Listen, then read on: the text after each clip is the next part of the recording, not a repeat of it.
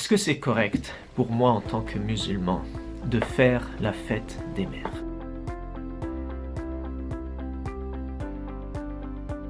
Around the world, there's a special day that we have to commemorate our mother. On Mother's Day, some of us shower them with gifts such as flowers, spa days, or even breakfast in bed. Pour tout cet amour inconditionnel qu'ils nous ont toujours offert, ces sacrifices, tu sais par exemple lorsque tu es malade et que ta mère est encore plus malade pour toi que tu ne l'es toi-même, ce genre de, de amour maternel qui est inégalable, pour tout cela, oui. Et ce qu'on trouve comme argument dans la tradition musulmane par rapport à notre propos, premièrement dans le Coran. Allah subhanahu wa ta'ala, dans plusieurs versets, il nous rappelle qu'en tant que musulmans et musulmanes, on a fait le choix de n'adorer que Allah subhanahu wa ta'ala, de dédier toute notre vie, toute notre existence à lui et de ne rien lui associer. Et ce qui est remarquable, c'est que juste après avoir parlé de cette, euh, ce fondement dans notre mode de vie de l'islam, Allah nous dit et soyez dans votre comportement vers les parents exemplaire.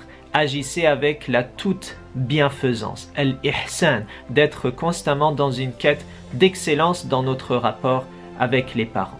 Exemple de verset dans Surat al-Isra وَقَضَى رَبُّكَ أَلَّا تَعْبُدُوا إِلَّا إِيَّهُ وَبِالْوَالِدَيْنِ إِحْسَانًا donc on s'est engagé à n'adorer que Allah et d'être envers les parents euh, dans l'exemplarité.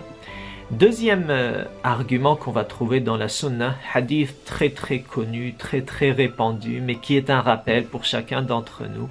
Ce compagnon qui vient voir le messager qui lui dit Ô messager d'Allah, quelle est la personne qui mérite le plus ma compagnie?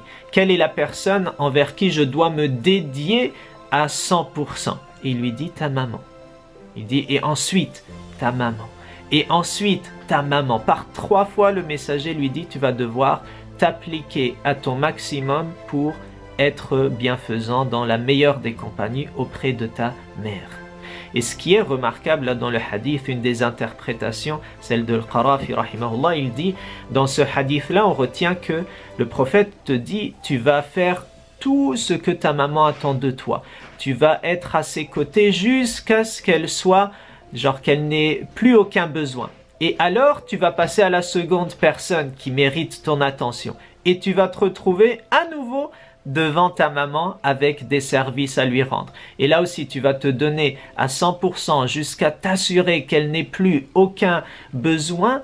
Et là, tu passes à la troisième personne. Et qui est-ce que tu rencontres sur ton chemin? Ta maman une troisième fois, à qui tu vas te donner à 100% pour lui rendre service, pour être à ses côtés, pour lui montrer tout l'amour, etc., etc., jusqu'à ce que tu, termines. Et là, tu passes à la quatrième personne et tu trouves sur ton chemin ton papa. Qu'Allah subhanahu nous soutienne dans cet effort, dans l'application de ce hadith, dans l'application de ces versets qui sont très lourd en termes de responsabilité. So let that day be a reminder to do better by your mom, to shower her with love and gifts. D'un point de vue plus religieux, de ce que je retiens, wallahu alam, c'est que évidemment ce n'est pas une fête religieuse. Mais on a, on l'a dit, il y a énormément d'arguments pour dire combien c'est une finalité supérieure que de rendre service à ses parents et sa maman. Donc, si pour votre mère c'est une occasion importante cette date-là, alors montrez-lui de l'affection. Ne, ne faites pas que ce jour important pour elle dans ses habitudes et sa culture passe comme quelque chose de normal. Après, évidemment, il faudra aussi trouver mille et une autres occasions durant l'année pour aller célébrer cet amour qu'on lui porte, ce respect qu'on a pour elle, et en le rattachant à des occasions qui sont liées à elle. Parce que la fête des mères n'est pas forcément attachée à quelque chose enraciné dans euh, une histoire ou quelque chose de, particulier. Mais si vous, dans votre famille, vous le rattachez à un événement et puis vous vous, souvenez de cet événement-là, vous faites encore plus d'efforts à cette date-là pour elle, Inch'Allah, ce serait quelque chose, pas évidemment religieux, mais plus euh, s'aligner sur la finalité de ce qu'est l'islam et de rendre, d'honorer ce qu'Allah subhanahu wa ta'ala attend de nous qu'on honore.